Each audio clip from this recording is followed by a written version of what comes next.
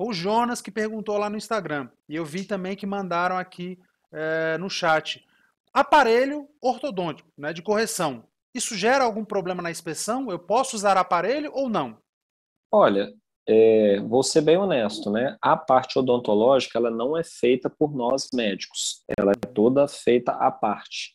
A legislação ela não é muito profunda do ponto de vista odontológico, mas ela versa sobre alguns preceitos básicos, né? Os preceitos estéticos, os preceitos funcionais. Então, geralmente, problemas que não têm repercussão estética, ou seja, ausência de dentes da frente, né?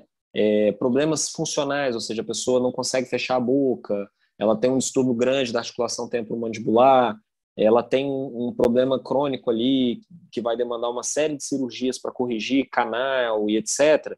Geralmente, se não ficar nesse escopo, não costuma dar problema, uhum. tá?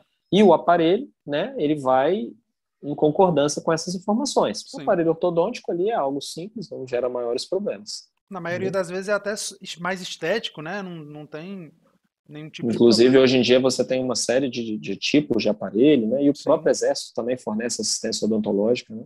Show de bola. Então, eu nunca vi nada a respeito, mas tenho que já começar de antemão admitindo a minha ignorância nesse quesito, porque da mesma forma que eu falei uma série de complicações da parte ortopédica, eu não seria a pessoa mais apta para falar sobre complicações de aparelho. Com certeza o dentista vai avaliar.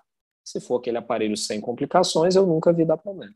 Pô, o Felipe tá de sacanagem. Ele dá uma aula sobre o assunto, aí depois ele fala, pô, perdão pela minha ignorância. Pô, tá, você tá de sacanagem, Felipe. Você tá dando uma aula aqui pra gente, pô. Tá, tá é, tirando muita o, dúvida. O paraquedista é um humilde conhecedor da porra toda. É.